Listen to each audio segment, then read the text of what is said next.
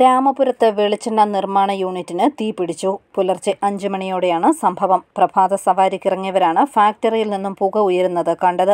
സമീപത്ത് മറ്റൊരു തീപിടുത്ത സ്ഥലത്തെത്തിയ കൂത്താട്ടുകുളം ഫയർഫോഴ്സാണ് നാട്ടുകാർ അറിയിച്ചതനുസരിച്ച് സംഭവ സ്ഥലത്ത് ആദ്യമെത്തിയത്. പാല കൂത്താട്ടുകുളം ഉഴവൂർ എന്നിവിടങ്ങളിൽ നിന്നുള്ള അഗ്നിശമന വിഭാഗം എത്തി മണിക്കൂറുകൾ നീണ്ട പരിശ്രമത്തിനൊടുവിലാണ് തീയണച്ചത് ഷോർട്ട് സർക്യൂട്ടാണ് തീപിടുത്തത്തിന് കാരണമെന്നാണ് പ്രാഥമിക വിവരം. ലക്ഷങ്ങളുടെ നഷ്ടം ഉണ്ടായതായാണ് പ്രാഥമിക വിലയിരുത്തൽ. സ്റ്റോക്ക് പൂർണമായി പരിശോധിച്ചാൽ മാത്രമേ നഷ്ടവും കൃത്യമായി കണക്കാക്കാൻ കഴിയുള്ളൂ. ടൺ കണക്കിന് കൊപ്ര പിണ്ണാക്ക് തുടങ്ങിയവ നശിച്ചു. വെളിച്ചെണ്ണ നഷ്ടപ്പെട്ടിട്ടുണ്ടോ എന്ന് പരിശോധിച്ചു വരികയാണ്. കുന്നേൽ ഓയിൽസിന്റെ സംരംഭമാണ് ടേസ്റ്റ് ഇറ്റ് വെളിച്ചെണ്ണ.